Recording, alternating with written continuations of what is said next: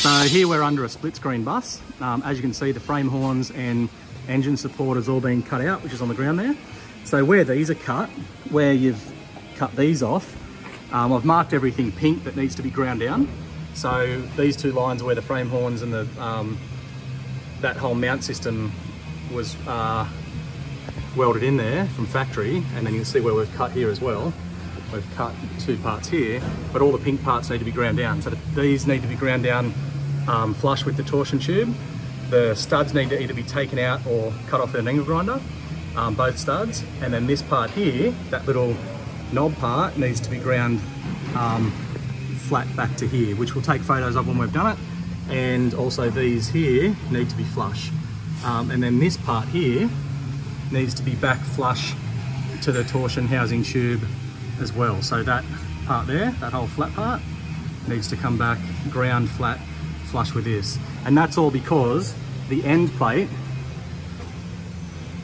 sits there. And what we're trying to achieve is a three millimeter gap between the end plate and the torsion housing. And as you can see there, that's about 20 mil or so.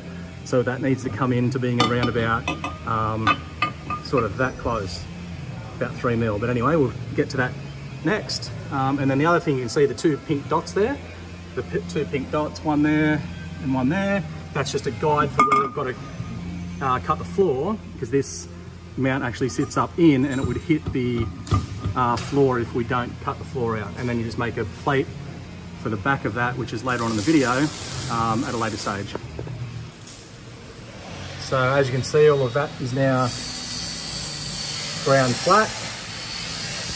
The knob's gone, these are flush. All this is flush where the frame horns were.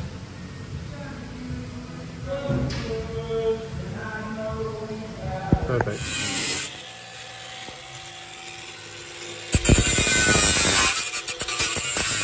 Okay, so when you're looking at the center of the vehicle, where that knob was and where the shift rod was, this is the center. So we've gone one, two ribs over. So if we're calling this a rib, one, two, three, four ribs, we've gone from the inside rib here to the inside rib here, um, which is 240 mil wide, but you don't really need to know that measurement as, as long as you use these two ribs, but it'd be good to check it.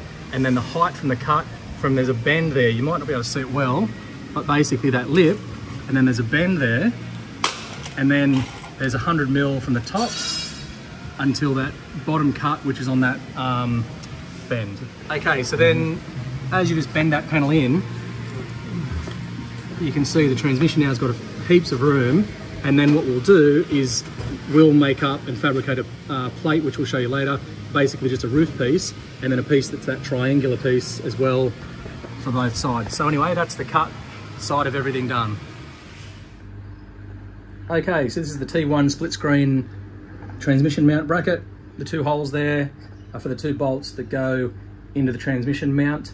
And then this part here is welded to the torsion housing, to the torsion bar housing um, in the rear of your vehicle. So you'd want to get some sandpaper or a flap disc on a grinder and just grind the paint back here and on the other side as well and maybe across the front face so this can be welded to the torsion housing.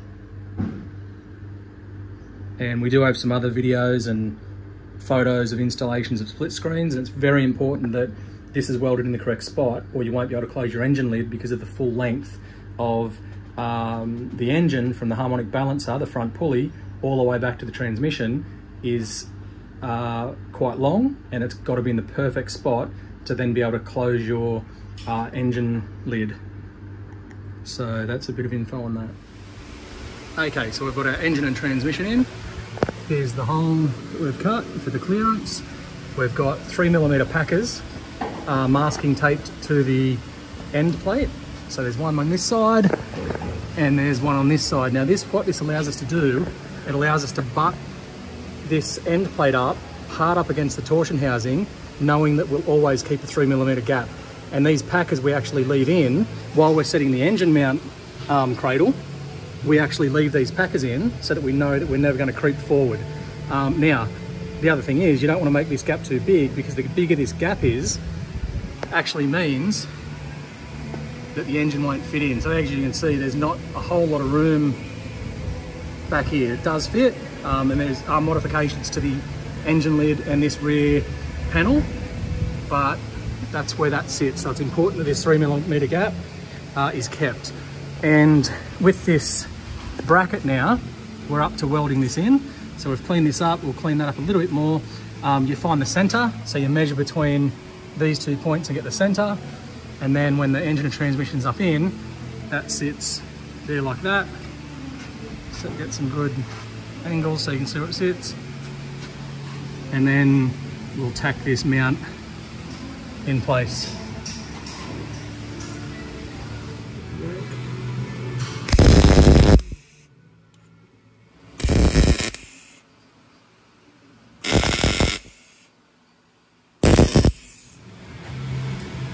So we've got the bracket now tacked in place. We had a few good tacks on this side so that we knew it wasn't going to move when we did remove the transmission and the engine. And now we'll uh, weld that right up. So with the cover plate that we make up the top, we've just made a cardboard template. Obviously you can see where it's gonna sit up in there and then we'll make that out of um, sheet metal and then we'll weld that in there. Okay, so that's the sheet metal plate that's been made up and all sealed. Use polyurethane to seal it after it's been welded in. And then there's the mount. So with the rear panel, with this particular model splitty, with that style latch, uh, we actually just made a little piece there for it to clip onto. It's all very tight as we know, but it does work. We just had a notch in around here. You've got a notch and cut here as well. And then also this part along here, you have to clearance as well. But that's it.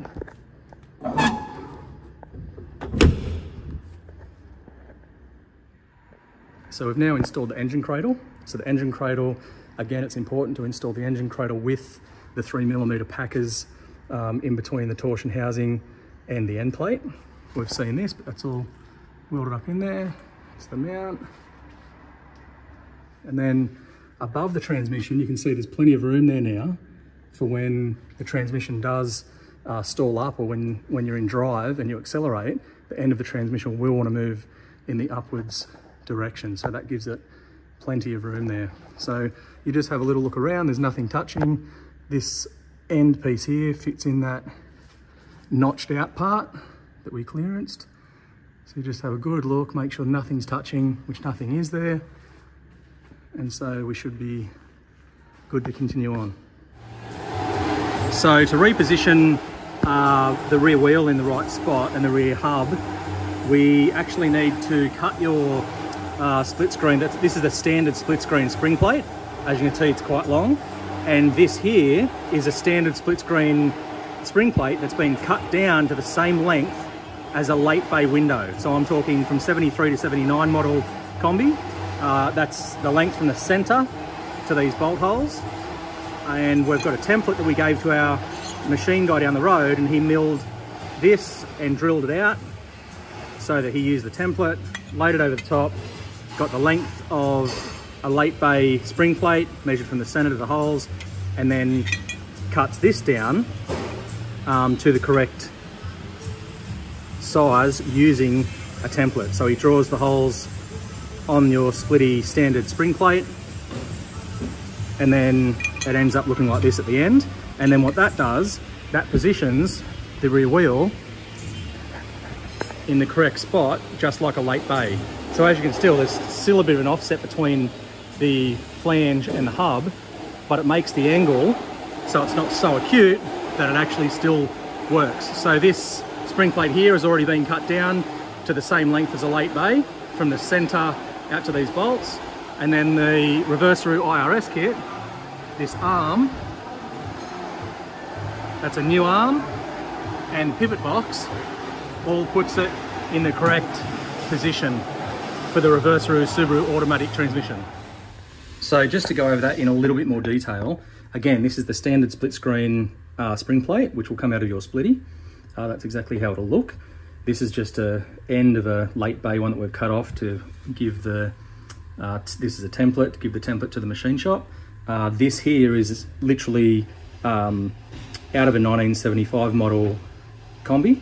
So the goal here is to get the split screen spring plate uh, the exact same length as a late bay. And this one here is actually a genuine splitty spring plate that has been cut down using this template um, to the same length as the late, bay, late bay spring plate as you can see there.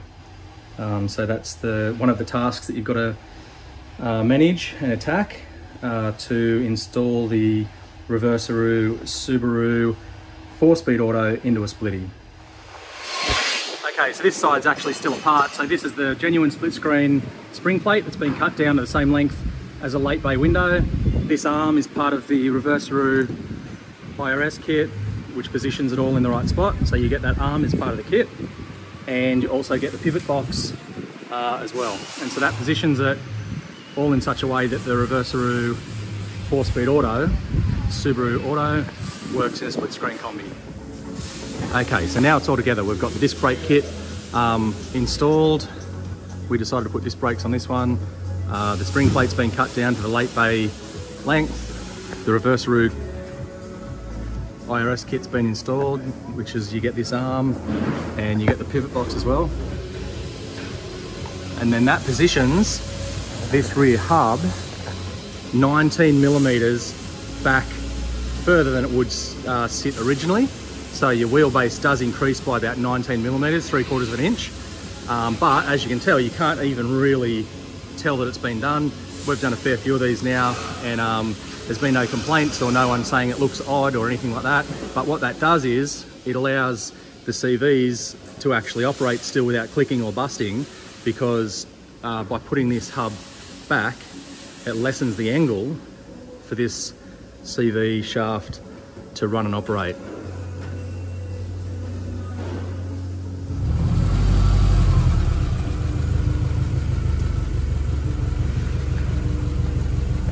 So this is the piece of sheet metal that's been cut and rewelded for the transmission on the underside to give it clearance. And that's the way we do our wiring, ECU and TCU.